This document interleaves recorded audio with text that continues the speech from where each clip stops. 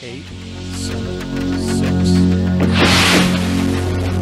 three, two, zero, and liftoff for the final launch of Endeavour, expanding our knowledge, expanding our lives in space. Houston Endeavor, all program. Roger roll, Endeavor. Houston Hello and welcome to True Crime Rocket Science, the most authentic voice in true crime. Now, some of you may have wondered whether content is going to continue on the YouTube channel, especially after the end of the phone data review. Well, the fact is, the final episode in the uh, phone data review series, episode 50, um, it's just been taking a long time to uh, edit that episode. Um, the uh, audio is available on Patreon. Um, it's just been kind of, I guess, more of a mental block than anything else, uh, getting round to doing the video edit version of that that final episode. I wanted to kind of go to a little bit of extra trouble. In this episode, I'm going to do something different. I'm going to take you on a little bit of a journey um, into my world um, beyond my home, uh, walking with giraffes. There's a, a baby giraffe that, that was just born recently on our farm, so I'm going to take you through that. Uh, I will also talk to you guys a little bit about uh, what's coming soon uh, on uh, on Patreon and on this channel. Um, but I'll do that uh, as we sort of go after we've gone through a little bit of the um, the nature aspect. So yesterday afternoon, I went with my father uh, to our farm. We went in, in his Land Rover. Uh, he's got a Land Rover. He actually had, I'm not sure if he still has two Land Rovers. He's also got a Jeep, but um, the one Land Rover my sister's driving. I'm not 100% sure if she owns it or whether she's using it, but but there are two Land Rovers, and sometimes when you visit my father's house, there'll be three or four Land Rovers just on the driveway. Um, uh, so it, it can look like kind of a four by four mecca sometimes to people passing by. So some of you may or may not be aware that uh, you know there's been a new arrival, uh, a baby giraffe. It was born about two weeks ago, although we can't be 100% certain exactly when he was born because giraffes do tend to hide away their young, uh, sometimes for about two weeks. And um, the the strange thing was I hadn't seen my father for quite a while, uh, months actually.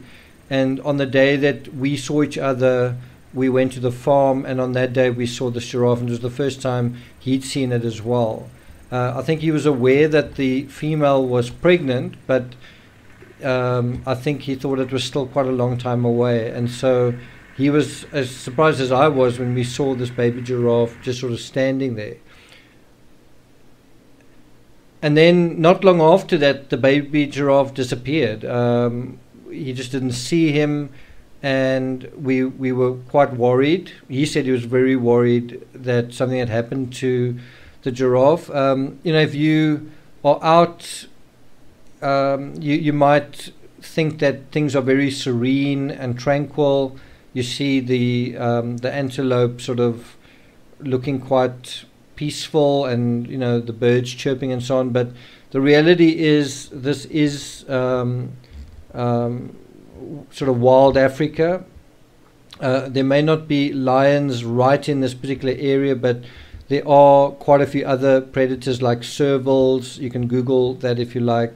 There are um, uh, lynx, which is almost like a mountain lion, and there are jackals, uh, not ordinary jackals. They're sort of super predator jackals. They jackals that have survived the attempts by farmers and other hunters to shoot them, and so these are very um, clever, strategic hunters, and they're also very good at what they do. One of the things that they will do is uh, they will use the the fences uh, bordering properties to sort of trap animals. They use that as part of their hunting strategy. And so you can imagine when you have a new arrival like this, you sort of worry that um, you know, is he going to make it? Um, and th- that's the critical first month or so. If he can survive that, then he will likely survive. There are other predators to worry about as well. Uh, through the course of us having our farm, we've had um, I wouldn't call them wild dogs. They they dogs from neighbouring properties will sometimes enter the property through holes in a fence or something, and um, attack certain animals. It might be um, a young calf or something.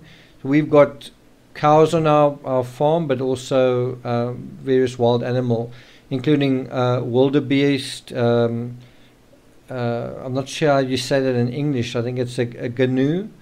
Um, lots of ostriches, uh, lots of zebra. Nyala, I'm not sure what the Latin name is for the Nyala. It's N Y A L A and I'll talk to you a little bit about that later on. And then, of course, the giraffe. Um, there are also blesbok and impala and, and quite a lot of springbuck as well. Uh, we've also got leguan or monitor lizards, but they, they swim in the river. And um, we used to have otters. I'm not 100% sure if we still got them. And then there's smaller critters like ground squirrels, um, yellow mongoose, and meerkats and springhares and, and that sort of thing. Um, so there's quite a few um, you know different animals. There's also fish eagles and um, some quite interesting bird life. So what is quite also quite interesting on the um, trip to the farm. Um, to be honest, I was a little bit on edge because I thought I was going to have to put Timmy in a sort of a um, cordoned off area at home, and, and that when I got home, he was going to be very unhappy having been left alone for two hours, and I didn't want to do that. So I did leave him with a neighbor, but the minute I left him, I could hear him shrieking, you know, and uh, I was, I actually kind of thought that the neighbor was going to call me 20 minutes later and just say, just come and take your dog. But fortunately, that didn't happen in any way, in any event, um, uh, we found the the giraffes very easily. Um, and what was quite interesting was the baby was actually sitting on the ground. Um, and that's something I don't think I've ever seen before. If you'd asked me, do giraffes sit, I, I probably would have said I don't know, or I don't think so. But yeah, we you could actually see the baby giraffe sitting. Um, whether the adults sit, I, I, I highly doubt it. Um, it is a very dangerous thing for uh, certain animals to sit, um, and and this includes horses. If they off their legs for long enough, they they they run the risk that they can't actually stand on them again. So in other words, by standing, they are activating their leg muscles, and if they aren't standing for a length of time, there's a ch- it's almost like a, a, human being going to the moon or going out into space, um, where there's less gravity. When you come back, you you will need to learn to some extent how to deal with gravity again and. I won't say you're going to need to learn to walk again, but you, you would have difficulty. Now with animals, um, I'm not saying you know if he sits down for a day, that that that's the end for him. Just that an animal can't really afford to be wobbly on their legs in a situation where they've got to constantly outrun predators. You know, if I can compare wildlife to true crime for a moment, you know, there are murders going on all the time, except it's natural. You know, it's the the law of nature. It is the survival of the fittest. Mm. And so, to defend themselves, animals just need to stay alert um, and stay on their feet, right? So, a couple of other things that are quite interesting about the giraffe that some of you might not know is the baby inherits his spots from his mother and only from his mother. And um, what's quite idiosyncratic with this baby giraffe, we haven't given him a name yet, but he has a, it looks like a, a line running around one side of his flank, and that's quite interesting. Um, and then you can see the mother has that same line. It's harder to see on these photos, but you can quite clearly see it when the mother's moving and she's or, oriented the right way. What is also interesting on this particular visit was the zebras were quite frisky, and two in particular were sort of um, they were both males, obviously, and they were both doing their thing, uh, trying to sort of establish dominance. And you know, from a photographer's perspective, it's it's always quite something to see the zebras um, doing things like rising up uh, against each other on their hind legs. They did it quite a few times where I didn't actually manage to get the shot. Um, they did a couple of times where I did get the shot, but not very well. But I did capture a shot where one of them kicked out at the other, and um, but in general, it, it's quite something seeing a, a, bunch of zebras together. You you often get some creative opportunity to um, play with the, the patterns of their sort of pajamas. Something else that's, I guess, quite interesting with the giraffes is that they, the male, the top of his horns are actually bald. Um, and I've actually got a photo of that where you can actually see th- that the top of the horns have no hair. Now, you might think that that is normal, but from the side angle, you can see there's a heck of a lot of hair around those horns. They they're quite. If you think of a giraffe's horns, that they're quite they're quite strange. Like why would a giraffe even need horns? If you compare it to other antelope, other antelope use it to sort of um, clash with one another, right? And maybe as defense with predators. But giraffe, I'm just saying it is strange that they have horns at all. Um, you know, they're so high in the air. Why why do they need it? Um, I think it is to some extent uh, in terms of defense, to some extent, but um, you know, giraffes use it more for use their, their limbs more for kicking.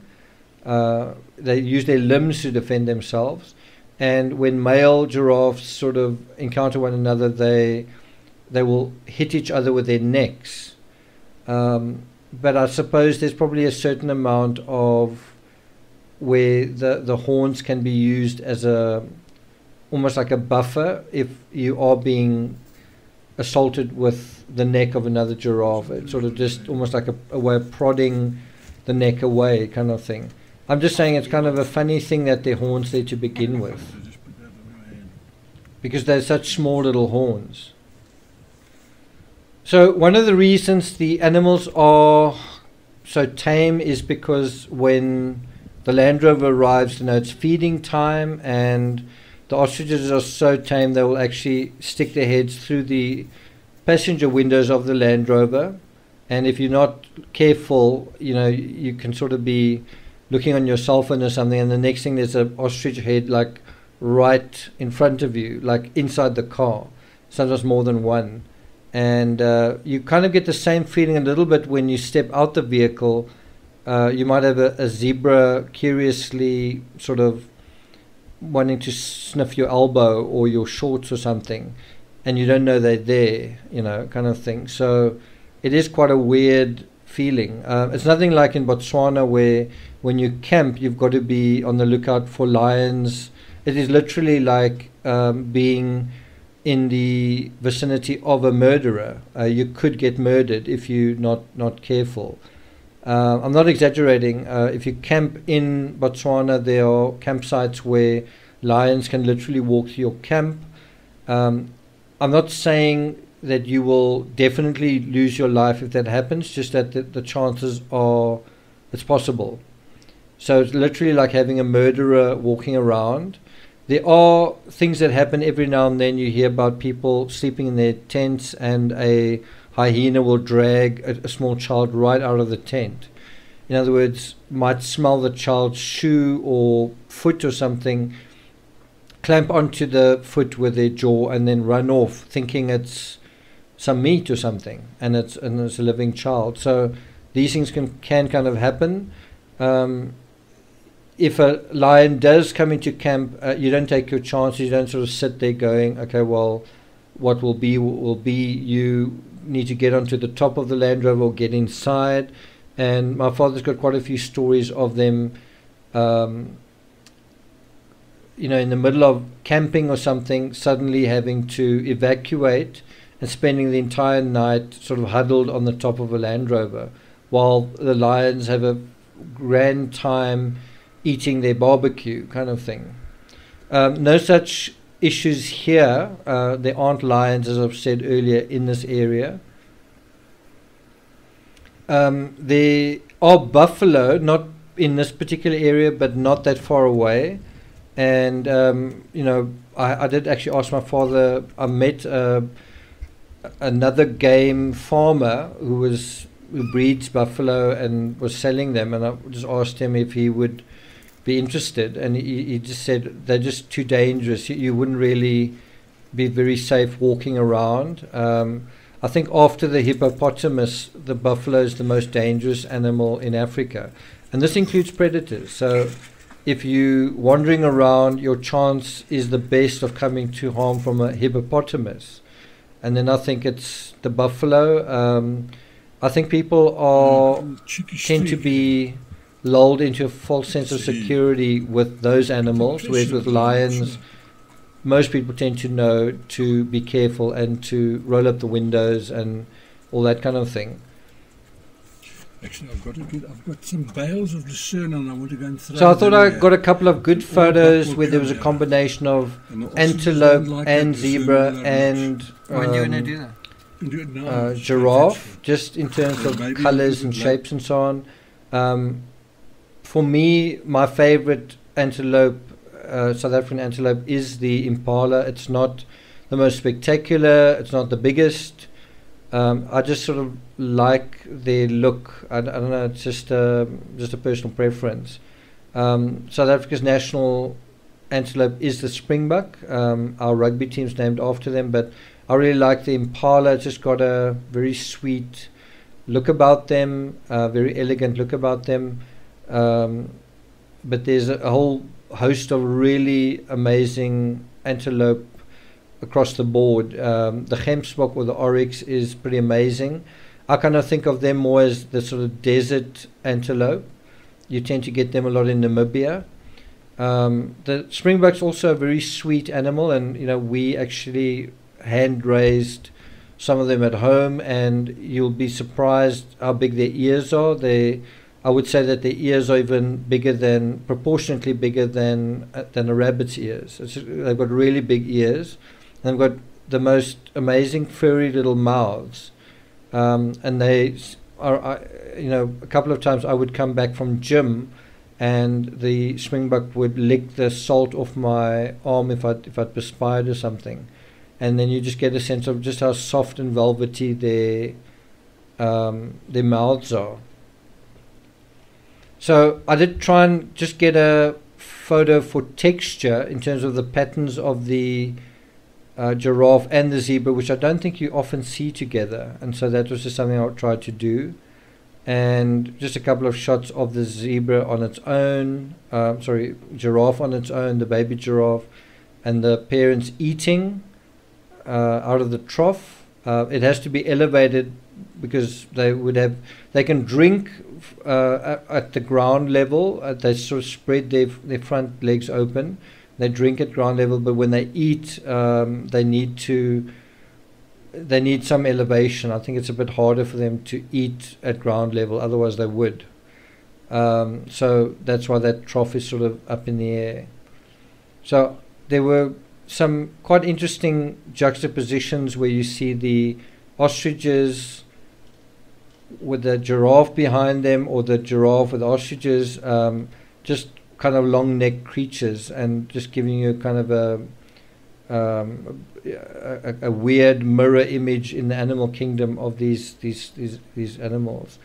And then, um, yeah, there's was kind of interesting scene where you see the giraffe having finished his meal, licking his lips, and actually sticking his nose, his tongue into his nose, which is kind of gross, uh, but I guess also quite funny. And then um, th- this is my favorite series of photos, just where the parents were about to just sort of head back into the bush and they sort of um, you know gave the little baby giraffe a sort of a lick on the top of the head.